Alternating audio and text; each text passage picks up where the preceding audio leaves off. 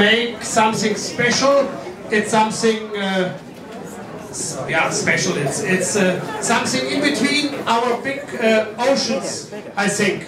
We figure out uh, fire hose from one side of the ocean to Dave.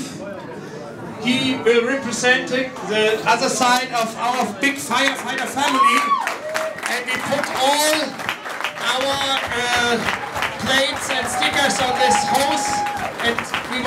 thank you very much for everybody who assist before the work in the kitchen, before and behind the big theater here. And thank you once again.